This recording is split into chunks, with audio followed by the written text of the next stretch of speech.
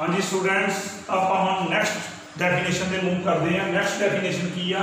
Deleted neighbourhood of a point ਤਾਂ ਆਪਾਂ ਪਹਿਲਾਂ ਪੜਿਆ ਨੇਬਰਹੁੱਡ ਆਫ ਏ ਪੁਆਇੰਟ ਹੁਣ ਆਪਾਂ ਪੜਨਾ deleted neighbourhood of a point ਤਾਂ ਜਿਹੜਾ ਪਹਿਲਾਂ ਆਪਾਂ ਪੁਆਇੰਟ ਦਾ ਨੇਬਰਹੁੱਡ ਪੜਿਆ ਸੀ, ਹੁਣ ਉਸ ਨੇਬਰਹੁੱਡ ਦੇ ਵਿੱਚੋਂ ਉਹੀ ਪੁਆਇੰਟ ਖਤਮ ਕਰ ਦੇਣਾ ਸਰ ਸਰ ਉਹੀ ਪੁਆਇੰਟ ਆਪਾਂ ਓਮਿਟ ਕਰਨਾ। ਦੈਟ ਇਜ਼ ਡਿਲੀਟ ਕਰਨਾ, ਤਾਂ ਜਿਹੜਾ ਬਾਕੀ ਦਾ ਸੈੱਟ ਬਚ ਜਾਊਗਾ ਉਸ ਨੂੰ ਆਪਾਂ ਉਸ ਪੁਆਇੰਟ ਦਾ ਡਿਲੀਟਡ ਨੇਬਰਹੁੱਡ ਕਹਾਂਗੇ। ਜਿਵੇਂ ਕਿ ਤੁਸੀਂ ਡੈਫੀਨੇਸ਼ਨ ਤੋਂ ਕਲੀਅਰ ਕਰ ਜਾਓਗੇ ਬਿਲਕੁਲ। ABC ਉਸੇ ਤਰ੍ਹਾਂ ਪੁਰਾਣੇ ਦੇ ਵੇ ਨਾਲ ਤਿੰਨ ਰੀਅਲ ਨੰਬਰ ਔਰ C ਜਿਹੜਾ ਹੈ, ਉਹ A ਤੇ B ਦੇ ਵਿੱਚ ਵਿੱਚ ਸਟ੍ਰਿਕਟ ਲਾਈ ਕਰਦਾ, ਤਾਂ then open interval A to C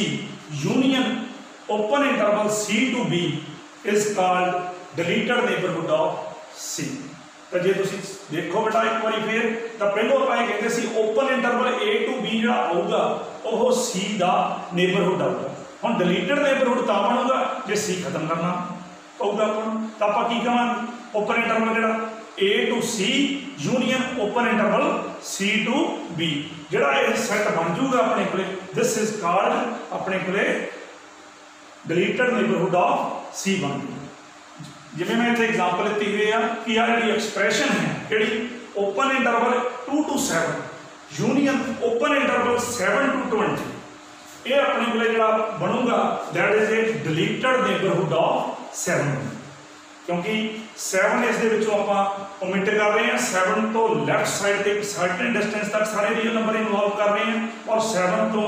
right side ਤੇ ਵੀ ਇੱਕ ਸਰਟਨ ਡਿਸਟੈਂਸ ਤੱਕ ਆਪਾਂ ਸਾਰੇ ਰੀਅਲ ਨੰਬਰ ਇਨਵੋਲਵ ਕਰ ਰਹੇ ਹਾਂ। That is why open interval 2 to 7 union open interval 7 to 20 this is a deleted neighbourhood of 7 ਤਾਂ ਹੁਣ ਆਪਣੇ ਕੋਲ ਅਗਲੀ ਡੈਫੀਨੇਸ਼ਨ ਬੇਟਾ ਕਿਹੜੀ ਆਉਂਦੀ ਹੈ delta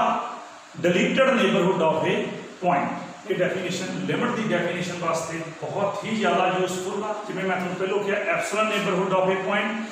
ਉਹ ਵੀ ਇੰਪੋਰਟੈਂਟ ਤੇ ਹੁਣ ਆਪਾਂ ਪੜਾਂਗੇ delta deleted neighbourhood of a point ਇਹ ਦੋਨੇ ਡੈਫੀਨੇਸ਼ਨ ਦੇ ਬੇਸ ਤੇ ਲਿਮਟ ਦੀ ਡੈਫੀਨੇਸ਼ਨ ਬਣਨੀ ਆ ਤਾਂ ਦੇਖੋ ਕੀ ਮੈਂ ਬੋਲ ਰਿਹਾ delta deleted neighbourhood of a point ਉਸੇ ਤਰ੍ਹਾਂ ਹੀ C ਕੋਈ ਵੀ ਇੱਕ ਕੀ ਰੀਅਲ ਨੰਬਰ ਔਰ ਡੈਲਟਾ ਕੋਈ ਵੀ ਪੋਜ਼ਿਟਿਵ ਰੀਅਲ ਨੰਬਰ ਆ ਹਾਊਐਵਰ ਸਮਾਨ ਇੱਕ ਵਾਰੀ ਫੇਰ C ਕੋਈ ਵੀ ਰੀਅਲ ਨੰਬਰ ਆ C is any real number and delta is any positive real number however small then open interval C minus delta to C union open interval C to C plus delta that is called delta deleted neighborhood of C ਕਿਉਂ ਬੇਟਾ ਇਹ ਕਿਉਂਕਿ C ਨੂੰ ਆਪਾਂ ਓਮਿਟ ਕਰਤਾ C ਤੋਂ left side ਦੇ ਵੀ ਰੀਅਲ ਨੰਬਰ ਇੱਕ ਸਰਟਨ ਡਿਸਟੈਂਸ ਤੱਕ ਲੈ ਲਏ ਔਰ C ਦੇ ਰਾਈਟ ਸਾਈਡ ਦੇ ਵੀ ਆਪਾਂ ਇੱਕ ਸਰਟਨ ਡਿਸਟੈਂਸ ਤੱਕ ਆਪਾਂ ਸਾਰੇ ਰੀਅਲ ਨੰਬਰ ਇਨਵੋਲਵ ਕਰ ਲਏ ਤਾਂ ਆਪਾਂ ਇਸ ਨੂੰ ਕੀ ਕਹਾਂਗੇ delta deleted neighbourhood of C. ਤਾਂ once again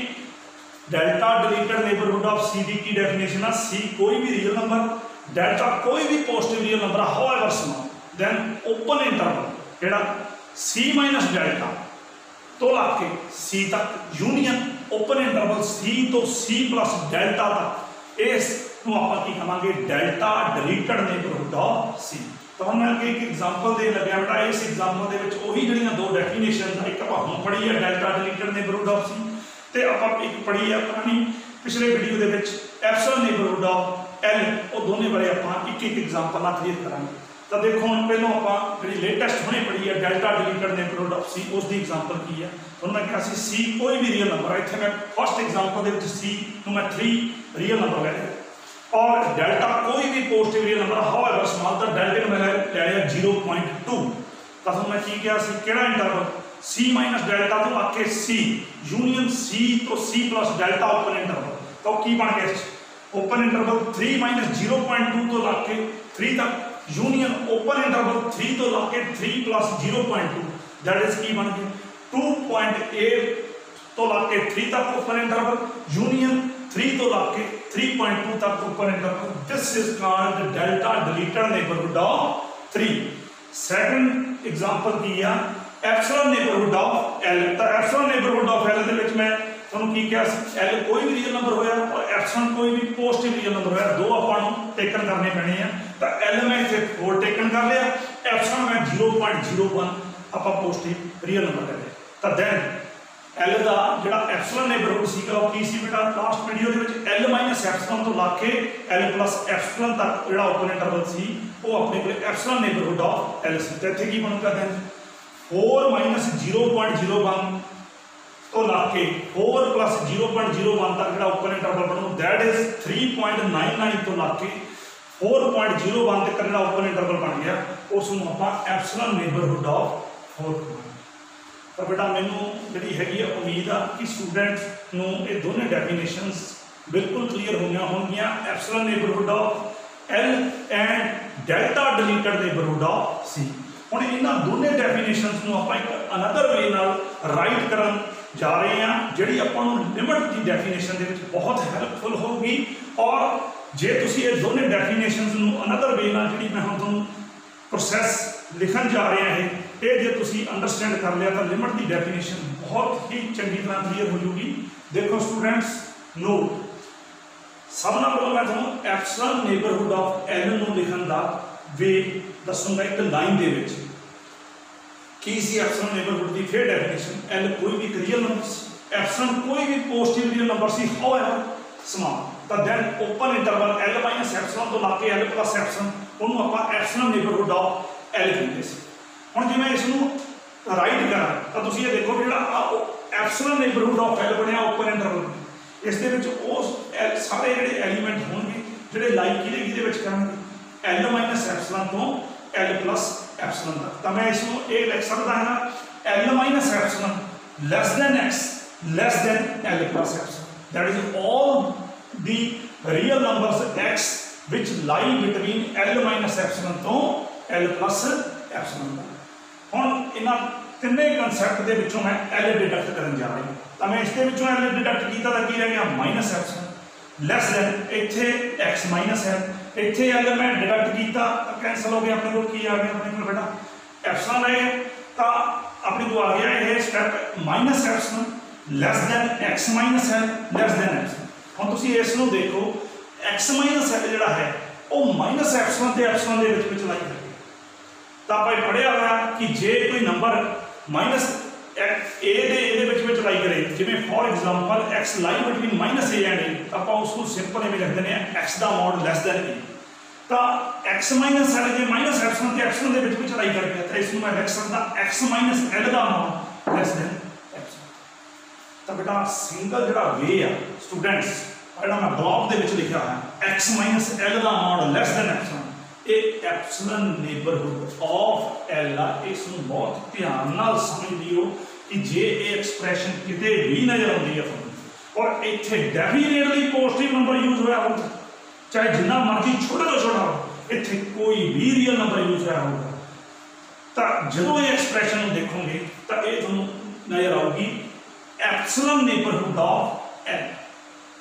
epsilon neighbourhood of l, ਜਿਹੜਾ ਬੇਟਾ ਮੋਡ ਵਿੱਚ ਮਾਈਨਸ ਤੋਂ ਬਾਅਦ ਜਿਹੜਾ ਇਸ ਨੰਬਰ ਹੋਊਗਾ, ਉਹ ਉਸ, ਉਹ ਨੇਬਰਹੁੱਡ ਉਹ, ਉਸ ਪੁਆਇੰਟ ਦਾ ਨੇਬਰਹੁੱਡ ਹੋਊਗਾ। ਤੇ ਆ ਐਪਸੀਲਨ ਜਿਹੜਾ ਹੋਊਗਾ, ਉਹ ਆਪਣੇ ਆਪ ਹੀ ਵਰਡ ਬਣ ਜਾਊਗਾ ਐਪਸੀਲਨ ਨੇਬਰਹੁੱਡ ਆਫ l ਜਿਵੇਂ ਆ ਆਪਣੇ ਕੋਲੇ ਸੈਕੰਡ ਐਗਜ਼ਾਮਪਲ ਮੈਂ ਕ੍ਰੀਏਟ ਕੀਤੀ ਸੀ, L ਦੇ ਕੀਤਾ ਸਟੂਡੈਂਟਸ 4 ਐਪਸੀਲਨ ਮੈਂ ਨਾਲ ਦਿੱਤਾ ਸੀ 0.01 ਹੁਣ ਤੁਸੀਂ ਸੋਚੋ, ਇਸ ਨੂੰ ਮੈਂ ਇੱਕੋ ਲਾਈਨ 'ਚ ਕਿਵੇਂ ਲਿਖ ਸਕਦਾ? ਫਿਰ ਮੈਂ ਇੱਕੋ ਲਾਈਨ 'ਚ ਲਿਖੂੰਗਾ। X ਮਾਈਨਸ ਕਿਸ ਦਾ ਆਪਣੇ ਕੋਲੇ ਇਹ ਐਪਸੀਲਨ ਨੇਬਰਹੁੱਡ 4 ਦਾ ਤਾਂ x ਮਾਈਨਸ 4 ਦਾ ਮੋਡ ਲੈਸ ਦੈਨ ਜਿਹੜਾ ਮੈਂ ਪੋਜ਼ਿਟਿਵ ਨੰਬਰ ਦਿੱਤਾ ਹੈਗਾ ਐਪਸੀਲਨ ਉਹ ਮੈਂ ਇੱਥੇ ਰੱਖ ਦੂੰਗਾ। ਦੈਟ ਇਜ਼ 0.0 ਤਾਂ ਮੈਂ ਇੱਥੇ ਹੀ ਲਿਖਿਆ ਫਰੋਮ ਅਬਵ ਜਿਹੜੀ ਮੈਂ ਸੈਕੰਡ ਐਗਜ਼ਾਮਪਲ ਦਿੱਤੀ ਹੈ, ਉਸ ਨੂੰ ਮੈਂ ਰਾਈਟ ਸਿੰਗਲ ਲਾਈਨ 'ਚ ਕਿਵੇਂ ਕਰ ਸਕਦਾ? X 4 ਦਾ mod less than 0.01 next second ਹੁਣ ਆਪਾਂ delta deleted neighbourhood of c ਨੂੰ ਵੀ ਆਪਾਂ ਰਾਈਟ ਕਰਨ ਦਾ ਤਰੀਕਾ ਦੇਖਦੇ ਹਾਂ। c ਕੋਈ ਵੀ ਰੀਅਲ ਨੰਬਰ ਸੀ ਡੈਫੀਨੇਸ਼ਨ ਦੇ ਬੇਸ ਤੇ ਔਰ ਡੈਲਟਾ ਕੋਈ ਵੀ ਪੋਜ਼ਿਟਿਵ ਰੀਅਲ ਨੰਬਰ ਸੀ however small than open interval c delta ਤੋਂ ਲਾ ਕੇ c ਯੂਨੀਅਨ c ਤੋਂ ਲਾ ਕੇ c ਡੈਲਟਾ ਤੱਕ ਓਪਨ ਇੰਟਰਵਲ ਇਹ ਆਪਣੇ ਕੋਲ ਡੈਲਟਾ ਡਿਲੀਟਡ ਨੇਬਰਹੁੱਡ ਆਫ ਕੀ ਬਣ ਸੀ? ਦਾ ਬਣ ਇਸ ਨੂੰ ਮੈਂ ਹੁਣ ਰਾਈਟ ਕਰਨਾ ਹੋਵੇ ਤਾਂ ਸਟੂਡੈਂਟਸ ਇਹ ਦੇਖੋ ਕਿ ਉੱਪਰ ਜਿਹੜੀ ਮੈਂ ਵੇ ਕੀਤਾ, ਉਹ ਨੀਚੇ ਵੇ, ਆਪਾਂ ਹੁਣ ਜਿਹੜਾ ਲਿਖਣ ਜਾ ਰਹੇ ਹਾਂ ਕਿ ਸਿਰਫ ਇੱਕ ਸੀ ਨੂੰ ਖਤਮ ਕਰਨਾ। ਮਤਲਬ ਉੱਪਰ ਜੇ ਆਪਾਂ L ਨੂੰ ਖਤਮ ਕਰਨਾ ਸੀ, ਹੁਣ ਆਪਾਂ ਕਿਹਨੂੰ ਖਤਮ ਕਰਨਾ। ਸੀ ਨੂੰ ਖਤਮ ਕਰਨਾ। ਜੇ ਉੱਥੇ ਐਪਸੀਲਨ ਨੇਬਰਹੁੱਡ ਆਫ L ਸੀ ਫੇਰ ਨਹੀਂ ਕਰਨਾ, ਜੇ epsilon deleted neighbourhood of L ਹੁੰਦਾ ਤਾਂ ਆਪਾਂ ਨੂੰ L ਨੂੰ ਖਤਮ ਕਰਨਾ ਪੈਂਦਾ ਹੁਣ ਆਪਾਂ delta deleted neighbourhood of C ਹੈ ਤਾਂ C ਨੂੰ ਖਤਮ ਕਰਨਾ ਸਰ ਤਾਂ ਤੁਸੀਂ ਇਹ ਦੇਖੋ, ਜੇ ਮੈਂ ਸੀ ਨੂੰ ਇਨਪੁਟ ਕਰਨਾ ਇੱਕ ਵਾਰੀ ਇੱਕ ਵਾਰੀ ਜਸਟ ਥਿੰਕ ਕਰਾਂ, ਤਾਂ ਮੈਂ ਇਹਨੂੰ ਇੱਕ ਵਾਰੀ ਰਾਈਟ ਆਈ ਦੂੰਗਾ x C ਦਾ ਲੈਸ ਦੈਨ ਡੈਲਟਾ ਇੰਨੀ ਐਕਸਪ੍ਰੈਸ਼ਨ ਨਾਲ ਆਪਾਂ ਨੂੰ ਇਹ ਨਜ਼ਰ ਆਉਣ ਲੱਗ ਜੂ ਵੀ ਇਹ ਡਿਲੀਟਡ ਨਹੀਂ ਹੈ ਨੇਬਰਹੁੱਡ ਆਫ ਕੀ ਹੈ C ਹੈ ਪਰ ਡਿਲੀਟਡ ਬਣਾਉਣ ਦੇ ਨਾਲ ਮੈਨੂੰ x not equal to C ਮਿਲਣਾ ਪੈਣਾ ਹੈ x not equal to C ਜੇ x, C ਦੇ ਬਰਾਬਰ ਹੈ ਨਹੀਂ ਆ ਬੇਟਾ ਸਟੂਡੈਂਟ ਸਾਰੇ ਕਲੀਅਰ ਕਰ ਗਏ ਇਹ ਕੀ ਆ ਕਿ x C ਦਾ ਮੋਡ ਲੈਸ ਦੈਨ ਡੈਲਟਾ ਇਹਨਾਂ ਇੰਡੀਕੇਟ ਕਰ ਰਿਹਾ ਵੀ that is a neighborhood of C ਔਰ ਡਿਲੀਟਡ ਵਾਸਤੇ ਆਪਾਂ ਨੂੰ x C ਦੇ ਬਰਾਬਰ ਨਹੀਂ ਲੈਣਾ ਸੀ, ਆਪਾਂ ਐਡ ਨਾਲ ਕਰ ਲਿਆ x not equal to C ਜੇ x C ਦੇ ਬਰਾਬਰ ਹੈ ਨਹੀਂ ਤਾਂ ਤੁਸੀਂ ਇਹ ਦੇਖੋ ਵੀ x ਤੋਂ C ਜੇ ਆਪਾਂ ਲੈਸ ਕਰ ਦਾਂਗੇ, that is x C always positive ਦਾ ਮੋਡ ਪੋਜ਼ਿਟਿਵ ਹੋਊਗਾ ਜੇ x c ਦੇ ਬਰਾਬਰ ਹੈ ਨਹੀਂ ਤਾਂ x c ਦਾ ਮੋਡ ਕੀ ਹੋਊਗਾ? ਮੋਡਲਸ ਕੀ ਹੋਊਗਾ? ਪੋਜ਼ਿਟਿਵ ਤਾਂ ਮੈਂ ਇਹ ਦੋਨਾਂ ਐਕਸਪ੍ਰੈਸ਼ਨਾਂ ਨੂੰ ਇੱਕ ਸਿੰਗਲ ਵੇ ਨਾਲ ਲਿਖ ਸਕਦਾ ਕਿ 0 ਲੈਸ ਦੈਨ x c ਦਾ ਮੋਡ ਲੈਸ ਦੈਨ ਡੈਲਟਾ ਤਾਂ ਬੇਟਾ ਆ ਜਿਹੜਾ ਇੱਕ ਵੇ ਆ ਇੱਕ ਵਾਰੀ ਫੇਰ ਜੇ x c ਦੇ ਬਰਾਬਰ ਨਹੀਂ ਹੈ, ਤਾਂ x c ਦਾ ਮੋਡਲਸ ਕੀ ਹੋ ਗਿਆ? ਪੋਜ਼ਿਟਿਵ ਤਾਂ ਇਹਦਾ ਮਤਲਬ ਆ ਐਕਸਪ੍ਰੈਸ਼ਨ ਜਿਹੜੀ ਹੈਗੀ ਆ ਪੋਜ਼ਿਟਿਵ ਹੋ ਗਈ ਔਰ ਲੈਸ ਦੈਨ ਕੀ ਹੋ ਗਈ? ਡੈਲਟਾ ਤਾਂ ਮੈਂ ਇਹਨੂੰ ਸਿੰਗਲ ਵੇ ਨਾਲ ਲਿਖ 0 ਲੈਸ ਦੈਨ x c ਦਾ ਮੋਡ ਲੈਸ ਦੈਨ ਡੈਲਟਾ ਤਾਂ ਆ ਜਿਹੜਾ ਕਨਸੈਪਟ ਆ ਸਿੰਗਲ ਵੇ ਹੈ ਇਸ ਨੂੰ ਜਦੋਂ ਤੁਸੀਂ ਰੀਡ ਕਰੋਗੇ, ਜਦੋਂ ਇਸ ਨੂੰ ਬੇਟਾ ਜਿੱਥੇ ਵੀ ਤੁਸੀਂ ਇਹਨੂੰ ਦੇਖੋਗੇ ਇਮੀਡੀਏਟਲੀ ਤੁਹਾਡਾ ਰਿਐਕਸ਼ਨ ਹੋਣਾ ਚਾਹੀਦਾ that is a deleted neighbourhood of C C ਉਸੇ ਤਰ੍ਹਾਂ ਹੈ ਔਰ ਡੈਲਟਾ ਉਹੀ ਪੋਜ਼ਿਟਿਵ ਨੰਬਰ ਇੱਥੇ ਆ ਤਾਂ ਹੁਣ ਜੇ ਮੈਂ ਇਹ ਐਗਜ਼ਾਮਪਲ ਜਿਹੜੀ ਫਸਟ ਕ੍ਰੀਏਟ ਕੀਤੀ ਸੀ ਇੱਥੇ ਮੈਂ ਸੀ ਨੂੰ ਕਿੰਨਾ ਟੇਕਨ ਕੀਤਾ 3 ਔਰ ਡੈਲਟਾ ਨੂੰ ਕਿੰਨਾ ਕੀਤਾ 0.2 ਤਾਂ ਇਸ ਨੂੰ ਮੈਂ ਇੱਕੋ ਹੀ ਲਾਈਨ ਦੇ ਵਿੱਚ ਕਿਵੇਂ ਲਿਖ ਸਕਦਾ delta deleted neighbourhood of C 0 less than x 3 ਦਾ ਲੈਸ ਦੈਨ 0.2 ਡੈਲਟਾ ਜਿਹੜਾ ਮੈਂ ਕੀ ਰੱਖ ਲਿਆ 0.2 ਤਾਂ ਆ ਐਕਸਪ੍ਰੈਸ਼ਨ ਤੁਹਾਡੀ ਕੀ ਬਣ ਗਈ? ਡੈਲ ਡਿਲੀਟਡ ਨੇਬਰਹੁੱਡ ਆਫ 3 ਕੀ ਬਣ ਗਈ? ਡਿਲੀਟਡ ਨੇਬਰਹੁੱਡ ਆਫ 3 ਤਾਂ ਸਟੂਡੈਂਟਸ ਇਸ ਨੂੰ ਚੰਗੀ ਤਰ੍ਹਾਂ ਫੋਲੋ ਕਰ ਲਓ ਤੇ ਉਸ ਤੋਂ ਬਾਅਦ ਮੈਂ ਤੁਹਾਨੂੰ ਡੈਫੀਨੇਸ਼ਨ ਬੇਟਾ ਕਰਵਾਉਂਗਾ ਔਰ ਉਸ ਡੈਫੀਨੇਸ਼ਨ ਦੇ ਵਿੱਚ ਜਿਹੜੀ ਹੈਗੀ ਆ ਬਿਲਕੁਲ ਕਲੀਅਰੈਂਸ ਰੱਖਣੀ ਆ ਤਾਂ ਕਿ ਉਸ ਤੋਂ ਬਾਅਦ ਜਿਹੜਾ ਮੈਂ ਕੁਐਸਚਨ ਕਰਵਾਵਾਂ, ਉਸ ਦੇ ਵਿੱਚ ਤੁਹਾਨੂੰ ਕਿਸੇ ਕਿਸਮ ਦੀ ਕੋਈ ਸਮੱਸਿਆ ਨਾ ਆਵੇ। Thank you so much